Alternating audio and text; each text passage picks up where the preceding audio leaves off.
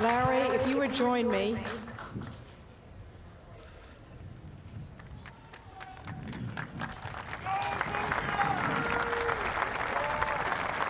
As chairman of the National Baseball Hall of Fame, it is my honor, Larry, to welcome you into the Hall of Fame family and to ask Commissioner Manfred to please read the inscription on your plaque.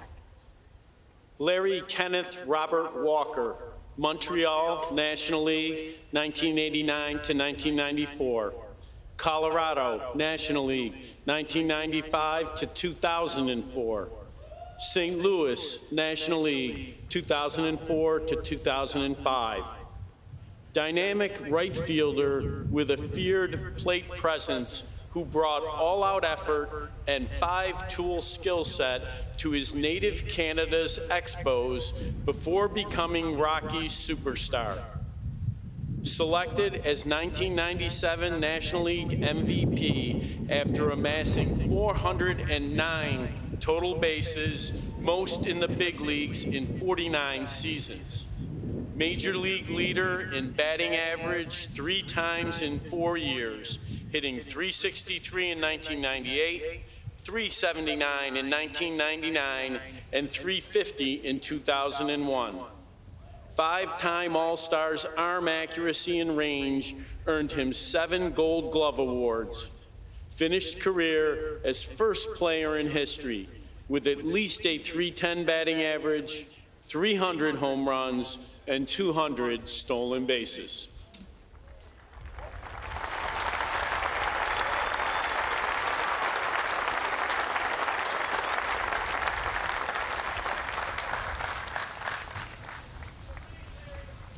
Harold Reynolds, you stepped on the field with some immensely talented baseball players. Where does Larry Walker stack up? He's right up there. You know, and here's the thing everybody's missing. He's 6'5", about 215 when he was playing. That was big for those days that we were playing in there. Amazing athlete. It's also amazing that the Rockies had been the only active franchise that never featured a future Hall of Famer in a game, Tom. That's hard to fathom. Amazing. And you see that plaque there. That will be the first one hanging in the Hall of Fame with a Colorado Rockies hat on I the think this, inductee. this breaks through, Tom. I mean, Todd Helton's got to be sitting there thinking, my numbers are going to hold up now. Ladies and gentlemen, from the Hall of Fame class of 2020, Larry Walker.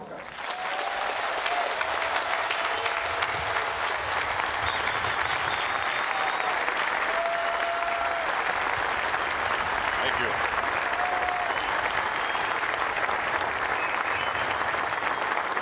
If you don't mind, I don't, I don't want to forget this moment, so.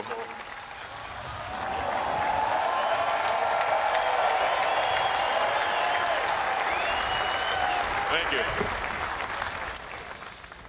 Well, I was told today would be the day it would become reality and sink in. And from sleep, not sleeping last night to my nervousness right now, it's reality. And for making it real, I say thank you to all the writers who put that check mark by my name. Heck, even those of you that didn't, your jobs are not easy. And thank you to the Hall of Fame, Jane, Whitney, Shesta, Tim, Jeff, and Josh, and all the Hall of Fame staff. You've all been a joy to be around and have made me fe feel so very welcome. And to the amazing people of Cooperstown, I thank you very much for your hospitality. I also believe social media provided my Hall of Fame candidacy a big push. To each of you who helped share my accomplishments, I'm thankful you were in my corner. I am Canadian. A couple of years ago, I fell short in the voting, and I don't do much on social media, but I did one of those hashtag things on Twitter, and it read, Fergie needs a friend. I was, of course, referring to Ferguson Jenkins, who was the only Canadian in Cooperstown. Today, I finally get to join Fergie as the second Canadian in the Hall of Fame and the first Canadian position player. Fergie, it's an honor.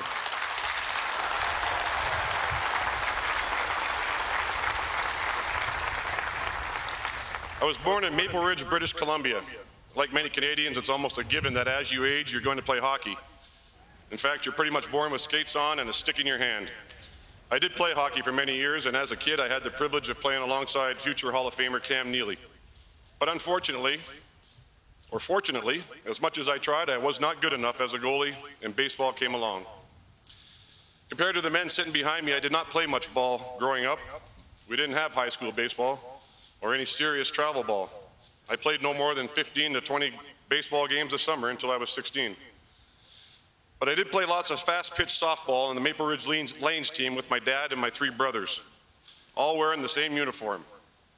That was probably when my brothers would tell me they taught me everything I know about baseball. Some of my earliest memories included mom sitting in the stands cheering while we all played.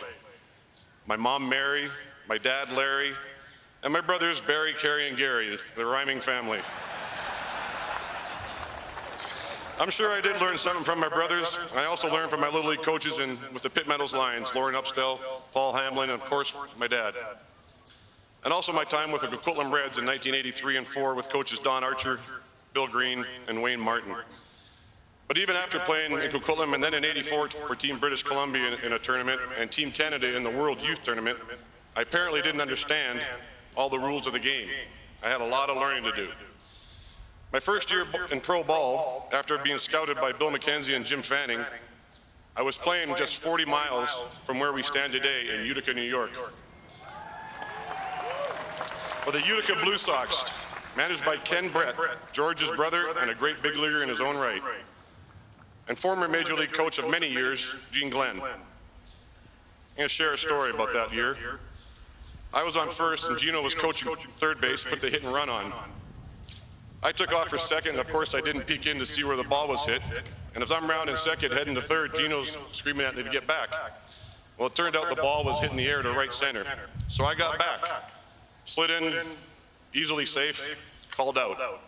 Get up telling the ump he's blind and a bunch of other choice words. And Ken Brett, who was that first coach in that day, grabbed my arm and said, Larry, you're out. I argued with him too. It turns out getting back to first base, you do not cut right behind the pitcher's mound through the infield, which is what I did. I already touched second once. Why the heck do I got to touch it again?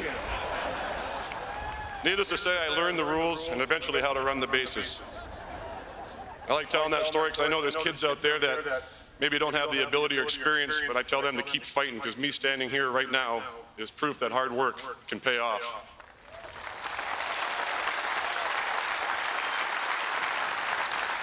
The minor leagues are where most of my baseball learning took place. Call it on-the-job training, and I got quite a bit of it. My stops were in Utica, Burlington, Iowa, West Palm Beach, Jacksonville, and Indianapolis. Along with four years of winter instructional ball and a season of winter ball in Mexico, I always went into a new team thinking there was always more to learn, and there always was. So many coaches helped me along the way in my early days, along with Ken and Gino, fielding from J.R. Miner, hitting from Ralph Rowe, all my base running from Tommy Harper, and a little bit of everything from Mike Quade. Those are just a few as there's way too many to mention.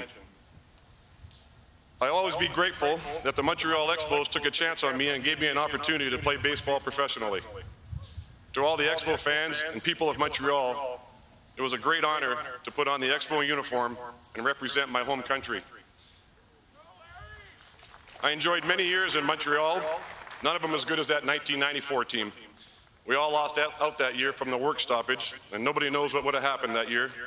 But I still imagine what it would have been like to bring a World Series to Quebec. To the fans hoping for their team to return to Montreal, I join you in hoping before long that Major League Baseball returns to your beautiful city. In 1993, the Expos were in Denver when the Rockies hosted their first home games. Even as a visiting player, I never forgot what it felt like to be in a ballpark surrounded by 85,000 people. The scenery of Denver nestled in the mountains reminded me where I grew up in Maple Ridge. So as the 94 Expos team slowly dispersed, in some way it felt natural to find my way to another great team in the Colorado Rockies.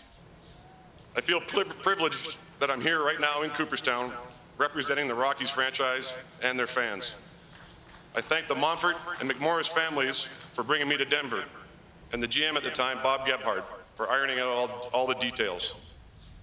I had 10 great years wearing the CR on my cap, perhaps none better than the first, 1995, when we won the first wild card. What an incredible way to be introduced to the fans of the Rockies. I thank the Rockies fans for always showing your support, and I hope real soon that that ticker tape parade comes rolling down Blake Street. And finally, the St. Louis Cardinals. I, I only spent a little over a year in your uniform, but you made me feel like it was many, many more. It was a thrill every time I wore the birds on the bat jersey and every time I took the field in front of that sea of red. Thank you, Cardinal Nation, for welcoming me into your family. To my Major League managers, Buck Rogers, Felipe Alou, Tom Runnells, Don Baylor, Clint Hurdle, Buddy Bell, Jim Leyland, and Hall of Famer Tony La Russa, I thank you for putting my name in the lineup. You and every one of your coaching staffs made me a better player. I'm always asked who was your favorite teammate. An impossible question to answer as I've had so many I enjoyed and so many others that had a big impact on me. Thanks to all my teammates, both in the majors and the minors. I learned a lot from you and from watching my opponents too, both what to do and what not to do. But I do want to give a shout out to a few guys who took me in during my rookie days in 1989 with the Expos. Tom Foley, Spike Owen, Mike Fitzgerald, Dave Martinez, and especially Tim Wallach. They all welcomed me into the fraternity of being a major leaguer and made the transition from the minors to the majors smooth and easy. I was very grateful for that. I had the same agents my entire career, and I thank the Speakers of Sport Agency, Bob Gilhooley, Jim Bronner, Bob Greenwald, Pete Smith, one guy by me the entire journey, Pat Rooney. Pat has since retired, and now Barry Meister has the honor of putting up with me. And to my family, my three brothers and their families, you're all going to be here for this occasion, and it would have been a long overdue family reunion. But unfortunately, COVID 19 took that away from most of you. I hope we can have that reunion real soon, and I thank all of you for your love and support throughout the years. To mom and dad, I am the youngest of four boys, and I think it's safe to say neither one of you have it, had it easy in raising us, especially those other three clowns. you supported all of us in our sporting adventures hockey, softball, volleyball, baseball, football, bowling, whatever it was, you always allowed us to give it a go. Looking back, I don't even mind that I got the hand me down equipment after the other three wore it out. School was a struggle for me, but I always felt supported by you both, even when I didn't come home with a report card full of A's or B's, or C's. There's D's and F's, I realize that. And when Bob Rogers from the Expos came into town and offered me a contract to play pro ball for $1,500 US, you simply said go for it. Allowed me to hop in my Pathfinder and drive across North America from Maple Ridge to Florida and give it a try. That 1500 was about two grand Canadian at the time, and I felt like I just won the lottery. But when life in the minor leagues was difficult, you always did your best to float me a little money. It meant a lot. You were both always there giving your support and love. I swear sometimes I looked up the stands during a game. You two looked way more nervous than I was on the field. You were always into every second of every game, and knowing you were following along helped me enjoy my career so much more. I thank and love you both.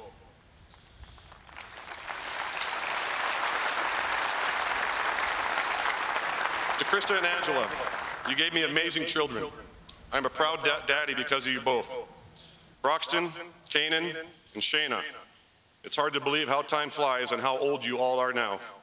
It seems like just yesterday when dirty diapers were stinking up the house and toys were laying around just waiting to be stepped on. All great memories, of course. You guys can't cry.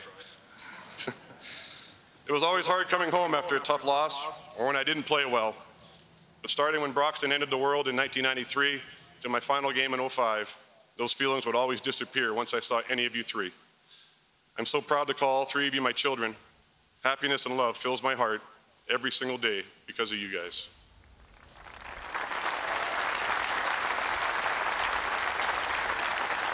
A couple other important people. My best friend Chris, from our early days in the Expos organization to today. You've always had my back and my girlfriend Donna. Life after baseball has been anything but boring. Thank you for being part of this incredible journey. Plus, you keep me on the right track, eating right and staying healthy. Otherwise, I wouldn't be fitting into this suit, trust me. And of course, thank you, Canada, for all your support I've received throughout the years from my home country. I share this honor with every Canadian, and I hope that all you Canadian kids out there that have dreams of playing in the big leagues that see me here today gives you another reason to go after those dreams. To my adopted home, the United States, I thank you for allowing this Canadian kid to come into your country to live and play your great pastime. I think we're all very fortunate to have two pretty amazing countries side by side.